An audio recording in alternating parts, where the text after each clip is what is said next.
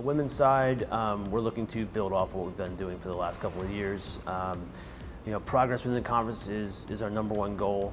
Um, we certainly have some athletes this year that we're, we're really relying on um, to kind of step up and, and hopefully we're going to take another big step this year. Preseason training, uh, we've been working very hard and I think the team is coming together really nicely. Like I said, within a lot of new people, we didn't really know how the season would start. It's been really good and everyone's been coming together really nicely. So. Um, I think it's just something special. So yeah, it's the first year we're all going to be kind of getting into something like we we we don't really understand it yet, but it's all like everything's going to be a new experience, so it'll be good fun. Yeah.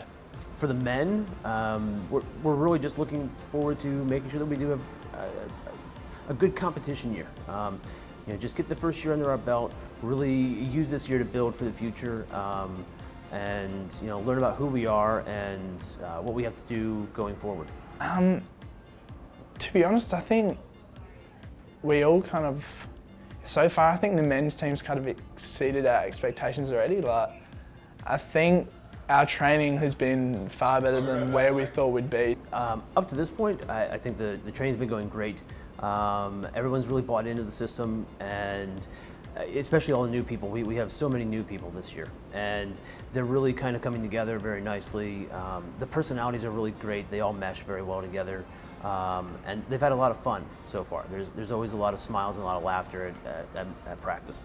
So next Saturday I expect to just come out and let's swim fast and have a good time and I think it's going to be a really great meet for us. We've all working really hard and I, am excited to show what we've been working toward in the pool.